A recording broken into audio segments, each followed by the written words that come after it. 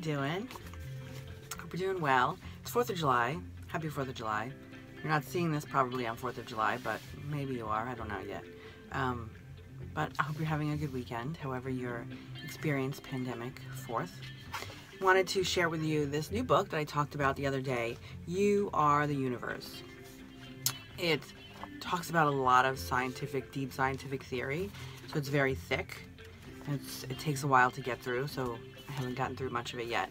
But um, it certainly jives with everything that I thought about um, how we're all connected. I think that you have religion and you have science, and people think that you can believe in one or the other. I think that's the common mainstream thought process. But I, I just think that they haven't, each of them haven't advanced far enough to finally connect. Because eventually they will connect, right? There are things that religion believes that science doesn't because it needs evidence and um, or it needs evidence that fits its paradigm of what evidence is and then there are things that science believes that religion doesn't. But um, i think the more that we grow and advance in each they'll eventually have to be connected because both of them are the study of the, the universe um, life itself consciousness so, um, so you know, I don't know if that'll be figured out in my lifetime, but the pursuit of it is certainly worthwhile, and um, I'm glad that other people are looking into it because I know I wouldn't. Um, but it is written by Deepak Chopra and Menas Kafatos. I'll tell you their bios. Deepak Chopra, who you probably know, is an MD is board certified in internal medicine, endocrinology, and metabolism. He is the author of 85 books translated into over 43 languages, including numerous New York Times bestsellers. That's really impressive. 85 books. He's not even 85 years old.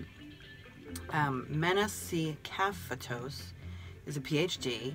He's the Fletcher Jones Endowed Professor of Computational Physics at Chapman University and the author of more than 320 referenced articles in 15 books. So these people know a thing or two. Now, I want to read you um, a passage from page three.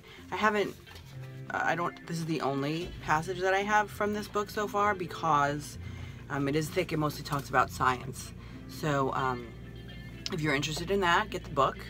But um, yeah, there's it's not like inspirational. so I'll start here, and they're talking about um, how the universe is one, how you are the universe, and um, this profound knowledge isn't new.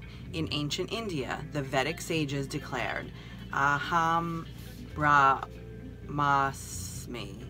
which can be translated as "I am the universe" or "I am everything." They arrived at this knowledge by diving deep into their awareness, where astonishing discoveries were made. Lost to memory are Einstein's of consciousness, whose genius was comparable to the Einstein who revolutionized physics in the 20th century. Today, we explore reality through science, and there cannot be two realities. If I am universe is true, modern science must offer evidence to support it, and it does even though mainstream science is about external measurements, data, and experiments, which build a model of the physical world rather than the inner world, there are a host of mysteries that measurements, data, and experiments cannot fathom. At the far frontier of time and space, science must adopt new methods in order to answer some very basic questions, such as what came before the Big Bang and what is the universe made of. So, good stuff if you're interested in that kind of thing. I would recommend it. So getting to the mainstream book. So excited. We're going to finish this soon. Makes me feel accomplished. God will not look you over for medals, degrees, or diplomas, but for scars. Albert Hubbard. The ultimate Hubbard, H U B B A R D. The ultimate ground of faith and knowledge is confidence in God. Charles Hodge, H O D G E. God is there to meet you in the center of all your trials and to whisper his secrets, which will make you come forth with a shining face and an indomitable faith that all the demons of hell shall never afterward cause waver. A. E. Kilbourne, K I L B O U R N E. God will bless you if you don't give up when your faith is being tested. He will reward you with a glorious life, just as he rewards everyone who loves him. James 1 12. Jesus feels for three. For thee. Three, maybe. Jesus consoles thee. Jesus will help thee.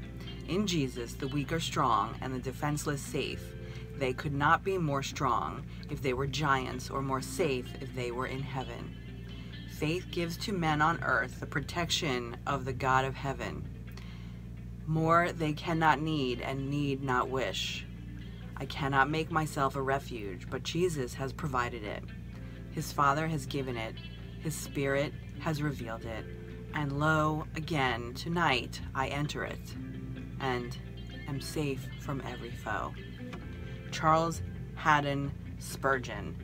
Spurgeon is S P U R G E O N. These trials will make you partners with Christ in this suffering. 1 Peter 4 13. yeah, and it's so I said it's the fourth, it's a Saturday, so um, we're gonna start week 17 of the pandemic, and unfortunately, it's getting worse in this country. Not necessarily the New York, New Jersey area, um, but we're all we're all in this together, whether you like to believe it or not. So, um, so keep going. Wear those masks. All right. Peace out.